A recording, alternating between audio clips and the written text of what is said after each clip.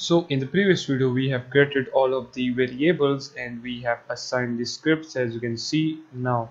In this video we will allow the police AI to walk from one waypoint to the other. So right here at the top first of all we will say that if the player is not in vision radius and also the player is not in the shooting radius and the wanted level script dot level 1 is equals to false. Also let's make the other level to false as well. So I will just simply copy this and paste it four times. Now the first one will be the if the level 1 is equals to false and then we will say or if the level 2 is equals to false then or level 3 is equals to false. And then after this or level 4 is equals to false. And then the last one will be the level 5 so we'll say or level 5 so right here we are simply saying that if the player is not in vision and shooting radius and also none of the five stars are activated it means that if the player doesn't do any crime then what we want to do? Right here we will call a function which will be by the name of walk. And now after the update function right here let's say walk and make this a void or actually a public void then as I told you that we will make the police AI walk from one waypoint to the other whenever the player doesn't do any crimes. So for moving the player between different waypoints we already typed that code in our traffic AI in the character navigator script.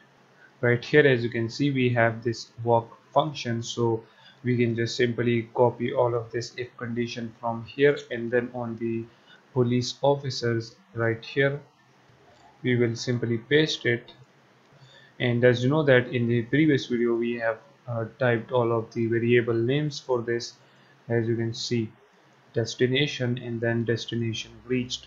So this code will be similar to the character navigator script and from the character navigator script we can also copy this locate destination as well. So just copy that from there and right here we will simply paste it.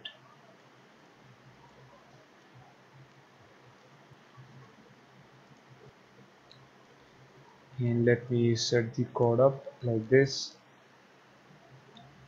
So once you copy this if condition from the character navigator script and this function then right here as you can see we have the variable name similar to the function names okay? Stop speed as you can see right here we have the stop speed because these two are similar to each other. So if you are using any name then make sure that you type that variable names right here in here as well. For example moving speed stop speed destination and the destination reached.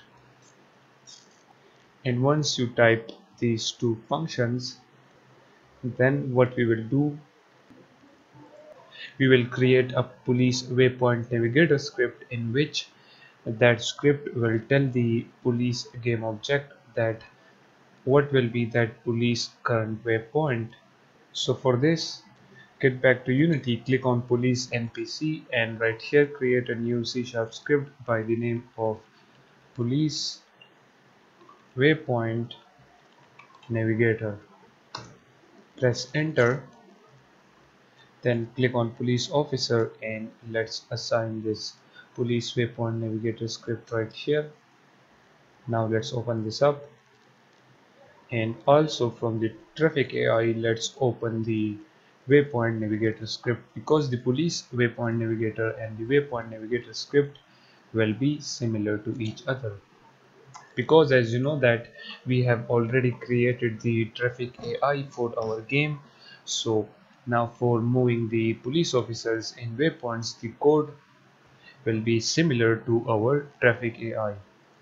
So now right here from this waypoint navigator, we can just copy these variables, the awake function, start function, and then this whole update function. So copy it. As you can see, copy all of this code and then get back to the police waypoint navigator script, remove the start and update function and right here, just simply paste it. Now right here, instead of the character navigator script, we need a reference to our police officer script. So right here, type police officer as well. This is the first change which we will be doing in this script.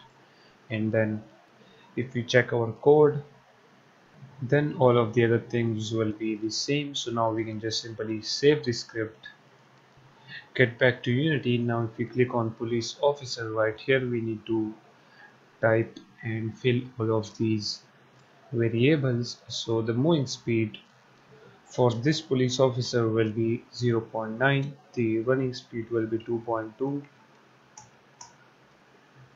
then right here we will assign the player layer right here. And then the vision radius will be 30 shooting radius will be 5 right here it needs the wanted script and as you know for now the wanted script is attached to our player game object. So we can just simply drag and drop our player game object right here and it will automatically select this wanted level script. Then it needs the police officer script. So drag and drop the police officer script in there. And now it needs the current waypoint. So for this police officer the current waypoint will be this one which is waypoint 42 so let's click on police officer and add the waypoint 42 right in there. And once that is done let me close the gizmos. And if you click on police officers as you can see everything is set up now let's play the game. And now as you can see the police waypoint is now changing. As you can see the police officer is now going in the backward direction because we have a code for that in which we assign different directions for each of the AI character. And that code we applied to the police officer. So that's why the police officers is now moving in this direction as you can see the current waypoint of the police officer is changing. Okay it means that now the police officer is able to walk around the map as you can see. But the police officer doesn't have the animations but the animations is for the future for now. You can just notice that the police officer is walking perfectly fine so in this way you can create your own police officer AI and with the walking of the police officer done now in the next video we will continue our work on the police officer even further